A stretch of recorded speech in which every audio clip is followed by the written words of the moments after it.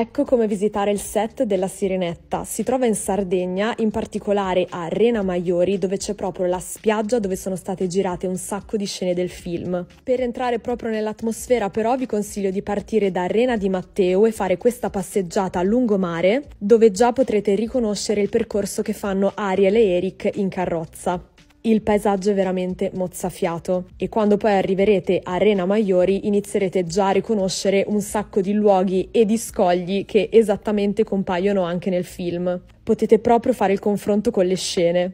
Questo per esempio è il famoso scoglio di Ariel. L'atmosfera è veramente magica, ma soprattutto vi consiglio di rimanere fino al tramonto perché lì davvero rimarrete senza parole. A un'ora da questa spiaggia si trova invece Castelsardo, è stato invece il set del castello del principe Eric a Picco sul mare. Io vi consiglio di visitare tutto il centro storico, in particolare il castello dei Doria, perché da lì avrete anche una bellissima vista a Picco sul mare. Nel centro storico invece potrete trovare un sacco di terrazze da cui si vede esattamente il punto da cui hanno registrato le scene del castello dal punto di vista del mare entrerete veramente all'interno del film. Questo è un riassunto dei luoghi principali, salvatevi il video e fatemi sapere se andrete anche voi.